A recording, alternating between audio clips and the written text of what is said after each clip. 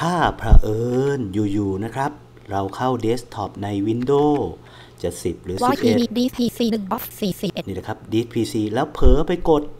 ตึ๊บ Delete ครับผม อ่า ไอคอน Delete PC ตอนนี้ Windows M แล้วกดตัวรี T ไซทีทีวีเวอร์สี่ทีไม่มีแล้ว อ่า จะใช้คำสั่ง Ctrl Z เพื่อ undo กลับมาได้ไหม Ctrl Z อันดูเอ่อศูนย์เปอร์เซ็นต์คอมพลีทรีแนมมิ่งหนึ่งไอเทมฟล็อป rename แคนเซิลบัตท็อปอ้าว cancel ไม่ได้อ้าวไม่ได้เหรอสตาร์ทท็อกเกิลบัตไม่ได้เหรอท็อปอ๋อโฟลเดอร์วิลิทีแล้วเราจะเอา Delete PC หรือมีวิธีการเข้า Delete PC อย่างอื่น แบบไหนอย่างไร หมอคอมรีวิวสวัสดีครับ ผมนายหมอคอมสิทธิโชคนะครับผมก็อย่างที่บอกไปครับ ตอนนี้ Windows M มาที่ Desktop แล้วกดสตาตัวร์ทท็อก T ที่ไม่มี Delete PC แล้วนะครับ เพราะว่าอาจจะลบไปนะครับ โดยปกติเราก็จะบอกว่าไปเอา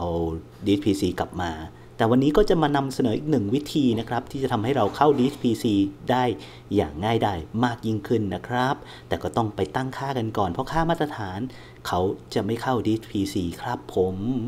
เราใช้ shortcut key นะครับ เพื่อเข้าไฟล์ Explorer กันครับ โดยการกด Windows Key ค้างไว้นะครับ กดปุ่ม Windows แล้วกดตัว E Echo ครับ Windows E File Explorer items view Quick Access grouping expanded desktop not อ่าเขาจะเข้าสู่ Quick Access หรือหน้า Home นะครับ ถ้าใน Windows 10 เรียกว่า Quick Access ถ้าใน Windows 11 เรียกว่า Home นะครับผม ซึ่งตรงนี้เราสามารถเปลี่ยนคำสั่ง Windows E อ่าให้กลายเป็น Disk PC ได้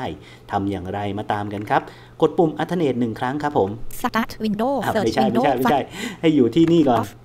ไฟล์เอ็กซ์พลออเรอยู่ที่ร์ไฟล์ Explorer นี่นะครับ หรือคุณจะอยู่ที่ Drive C Drive D Drive E ก็ได้ เพราะเราจะไปที่ Folder Option ครับ กดปุ่ม Alternate ที่ไฟล์ Explorer หรือ Drive C Drive D นะครับผม กด Alternate หนึ่งครั้งวิวบัตทอนโคแลบเก้าออฟสิบอ่าของผมอยู่ที่ View Button Collab เนี่ย เพื่อนๆอาจจะอยู่ที่อื่นๆนะครับ หรืออยู่ที่ไหนก็ได้อ่าส่วนใหญ่ก็อยู่ที่ View เนาะให้กดลูกศรขวา Filter button collapsed สี่ of สิบ filter มอแอปบาร์บัตทอนอ่าเจอ More App Bar Button นะครับ เลื่อนลูกศรขวาจนเจอตัวนี้ More app bar buttonตอนนี้ผมลืมบอกไปผมใช้ Windows 11 ร่วมกับ NVDA นะครับ ใครใช้ Windows 10 ก็หา Folder Option ตามวิธีของ Windows 10 ได้เลยนะครับ เจอ More App Bar Button แล้ว Space Bar เข้าไปครับ space host pop-up window อ่าเบิร์นทูดิสบัตทอนเบิร์นเดอะจะเจซีอเล็ก Pop Up ขึ้นมานะครับ แล้วมีเมนูเยอะเลย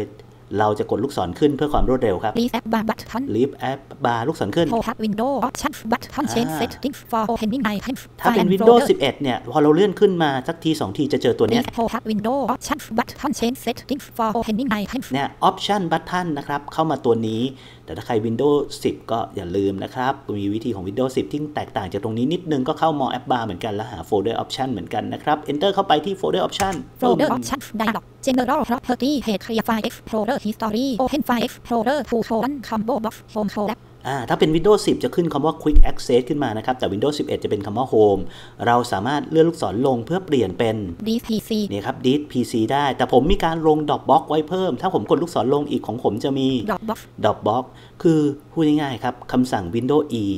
จะทำให้เราไปยังสิ่งที่เราตั้งไว้ได้ อย่างเช่น เราจะเลื่อนลูกศรจนเจอ dpc นะครับเลื่อนลูกศรลงเจอ Delete PC แล้ว Enter ได้เลยครับ file explorer more app ก็เป็นการยืนยันและตกลงคราวนี้ผมกด Alternate F4 เพื่อปิดไฟล์ item Explorer off ครับสองเจ็ดอ่าจุด OBS จุดขึ้นมาอยู่ folder ตรงนี้นะครับ คราวนี้เราลองกด Windows ค้างไว้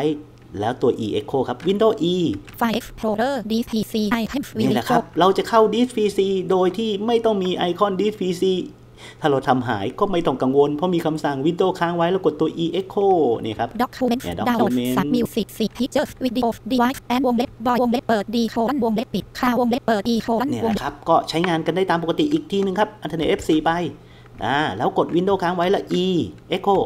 dpc item release folder ก็จะทำให้เราเข้า Disk PC ได้จากไฟล์ Explorer คำสั่งนี้สบายๆกันเลยนะครับ snap app อ่า dpc โอเค ปิดตรงนี้ไปอ้าวเราจะเอา Disk PC กลับคืนมายังไง ก็วิธีการเหมือนเดิมครับผมกด Start เมนูหนึ่งครั้ง start window search window อ่าเสิร์ชขึ้นมานะครับ แล้วพิมพ์คำว่าทีมครับผม T Thailand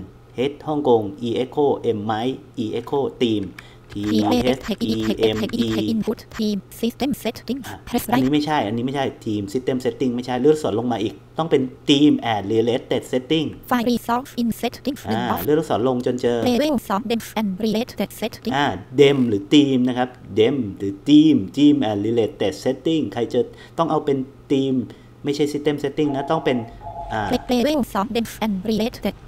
Team and Related Setting นะครับผม เจอแล้ว Enter เข้าไป Settings Settings Window Search Box File Set แล้วเหมือนเดิมครับ แท็บไปหาคำว่า Related Setting Desktop Icon Setting นะครับ แท็บไป Level 1 Personalization Personalization แท็บไปเรื่อยๆ Background Lightroom แท็บไปเรื่อยๆ Color Custom แท็บไป Color เรื่อย But South Windows Default Mouse Cursor Windows ใกล้แล้วใกล้ Default แล้ว But Use Custom Theme Button สังเกตคำว่า Related ไว้ Current Theme Grouping Show All แท็บ Settings ไป List Windows วงเล็บแท็บเปิดไปไลน์วงเล็บ Get More Dems แท็ From บไป Micro Related Settings Grouping Desktop Icon Settings นี่แหละ Grouping ครับ ฟังอีกทีนึง Cur- Related Settings Grouping Desktop Icon Settings Grouping Rete- Related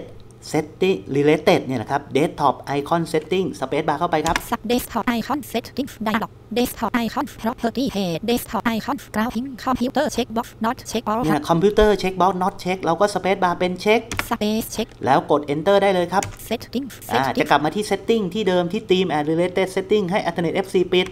คราวนี้ Windows M มาที่ Desktop Folder View List Team Viewer 10แล้วกดตัว T หา Disk PC P DPC 1ก Box ลับมาเรียบร้อยแล้วครับผม Disk PC แต่เราจริง ๆ เรากดคำสั่ง Windows ค้างไว้แล้ว E Echo ตึ้ง DPC Item เนี่ย List ก็จะ Folder เข้า Grouping Expanded Desktop Not Disk PC ได้อย่างรวดเร็วนะครับ ก็เป็นความรู้เพิ่มเติมอะ ของ Windows 10 อาจจะวิธีแตกต่างจากนี้นิดนึง ใครทำไม่ได้ก็โทรเข้าบริการหมอคอม แล้วมาทำไปพร้อม ๆ กันนะครับ เปิดเสียงให้ผมฟังด้วย ก็มีความรู้อันไหนที่ผมเจอ แล้วผมรู้สึกว่ามันมีประโยชน์ก็จะนำมาแบ่งปันและฝากกันเป็นความรู้เล็กๆ น้อยๆ ผมเองสไตล์ความรู้พื้นฐานนะครับ เราก็จะทำพื้นฐานให้แน่น แล้วคุณก็จะไปต่อยอดอะไรได้สูงขึ้นกว่านี้ครับ วันนี้บริการหมอคอมที่สายด่วนข่าวสารความรู้ 1414 และแอปพลิเคชัน Tab to Read รวมถึงช่องทางอื่น ๆ ของทาง 1414 พลัส ก็ต้องขอตัวลาไปก่อนแล้วครับ สวัสดีครับผม